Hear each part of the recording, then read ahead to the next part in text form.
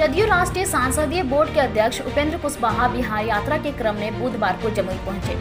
श्री कुशवाहा ने जमुई पहुँचने पर दलीय साथियों ने उनका गर्मजोशी से स्वागत किया और उन्हें फूल माला से लाद कर दल के समर्थन में गगन भेदी नारे लगाए। राष्ट्रीय अध्यक्ष श्री कुशवाहा ने अपने कार्यक्रम के दरमियान नगर परिषद क्षेत्र अंतर्गत सतगामा मोहल्ला स्थित जदयू के जिला कार्यालय का फीता काट कर उद्घाटन किया।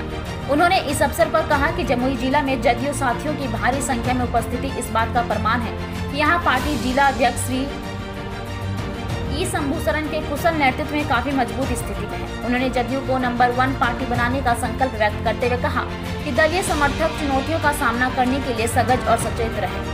राष्ट्रीय अध्यक्ष श्री कुशवाहा ने यात्रा के क्रम में वैसे परिवार से मुलाकात की, जिनके घर के सदस्य की मौत कोरोना वायरस की चपेट में आकर हो गई है। उन्होंने संबंधित परिवार को ढांढस बांधते हुए कहा कि मुख्यमंत्री नीतीश कुमार द्वारा घोषित चार लाख रुपए की अनुग्रह राशि के लिए आवेदन जिला अध्यक्ष को समर्पित करें। उनके आवेदन पर त्वरित कार्रवाई की जाएगी और उन्हें अनुग्रह राशि का भुगतान यथाशीघ्र कराया जाएगा। श्री कुशवाहा ने दलीय साथियों में शिष्टाचार मुलाकात की और उन्हें जदयू की नीतियों एवं कार्यक्रम को जन जन तक पहुँचाने का संदेश दिया। विधायक दामोदर रावत, जिला ई शंभू सोरेन, हिमांशु पटेल, राकेश कुमार पासवान समेत सैकड़ों कार्यकर्ता उपस्थित थे। उधर प्रमुख समाज सेवी एवं सतगामा निवासी रविंद्र मंडल ने राष्ट्रीय अध्यक्ष उपेंद्र कुशवाहा की उपस्थिति में जदयू की सदस्यता ग्रहण करते हुए मुख्यमंत्री नीतीश कुमार के नेतृत्व में पूर्ण आस्था प्रकट की है। इधर राष्ट्रीय सांसदीय बोर्ड के अध्यक्ष श्री कुशवाहा का जमुई जिला में प्रवेश लक्ष्मीपुर के समीप कोहबरावा मोड़ पर हुआ है। पार्टी कार्यकर्ता जगह जगह मार्ग पर खड़े होकर उनका स्वागत फूलमाला से किया और नीतीश कुमार के पक्ष में नारे लगाए। गौरतलब यह है कि श्री कुशवाहा बुधवार को स्थानीय सरकारी अतिथि गृह में रात्रि विश्राम करेंगे। वो गुरुवार को सुबह में पत्रकारों से बातचीत करने के बाद शेखपुरा के लिए प्रस्थान कर जाएँगे।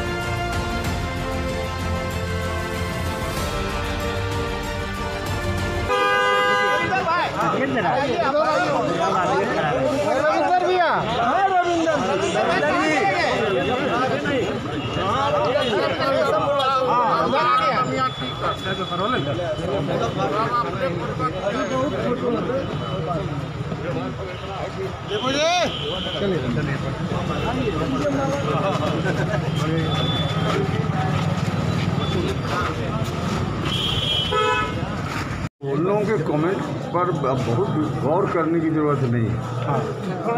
हम कोई भविष्य वक्ता नहीं है, लेकिन जो आसार दिख रहा है और आरजेडी के लोगों से जो व्यक्तिगत बातचीत होती है, उसके आधार पे हम आपको बता रहे हैं कि पार्टी में जो स्थिति चिराग की हुई है, कुछ ही दिनों में वही स्थिति तेजस्वी यादव की भी होने वाली है। अच्छा ये एक और एक और चीज़ पूछूँगा कि आपका जो यात्रा हो रहा है, जिस तरह से समर्थक है आपके पार्टी के लोग एकजुट होते और दूसरा विपक्ष का है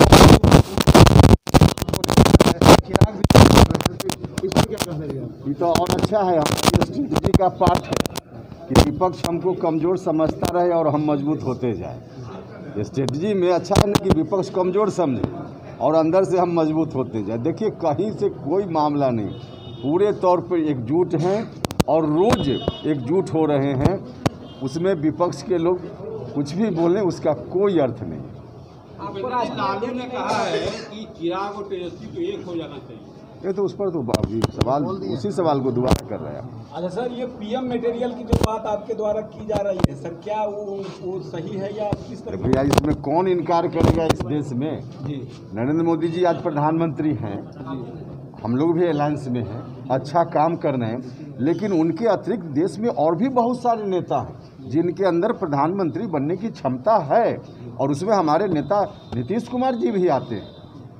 इस बात में कहाँ किसी को एतराज़ हो सकता है? आगामी आगामी लोकसभा चुनाव में सर नीतीश कुमार को प्रधानमंत्री के रूप में नहीं हमने कहा कि अलायंस हमारा है एनडीए के नेता आज भी नरेंद्र मोदी जी हैं प्रधानमंत्री हैं अच्छा काम कर रहे हैं तो सवाल इस बात का नहीं है।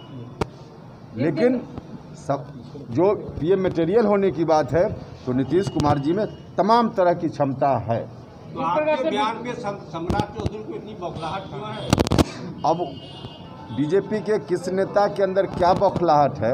अगर कुछ है तो उनको पार्टी के नेता से आला कमान से बात करनी चाहिए।